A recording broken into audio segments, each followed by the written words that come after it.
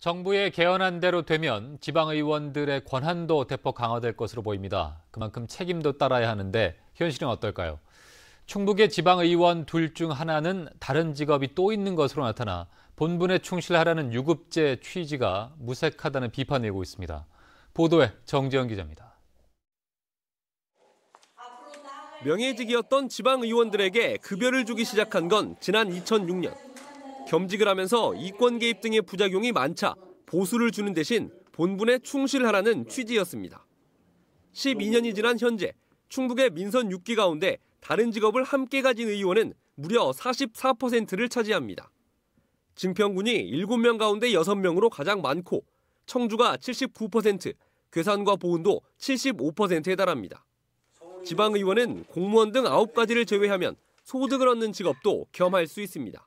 보좌관도 없는 상태에서 예산이라든지 정책이라든지 이런 것들을 모두 다 혼자 풀어나가야 되는 입장이기 때문에 돈벌이가 되는 겸직이 있는가 반면에 어, 주식회사에 이사로 등록해서 어, 전혀 수익이 안 되는 구조를 가지신 분들도 계시거든요.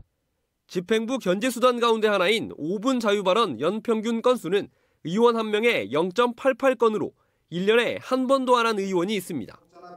충북지방의회는 한국지방자치학교가 선정한 우수조례 배출의회 단 한 번도 들지 못했습니다. 충북의 지방의회는 견제와 감시, 청렴도 등 7개 부문에 대한 참여연대 설문조사에서도 충청권에서 꼴찌를 차지했습니다. 최저임금을 줘야 한다는 국민청원까지 나왔습니다.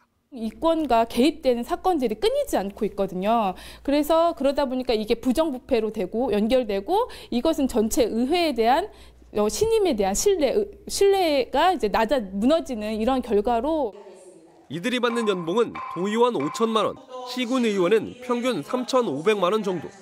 이런 상황에 의원들 상당수는 급여를 올려야 겸직을 막을 수 있다고 주장하고 있어 유권자들의 바람과 크게 동떨어져 있음이 드러나고 있습니다.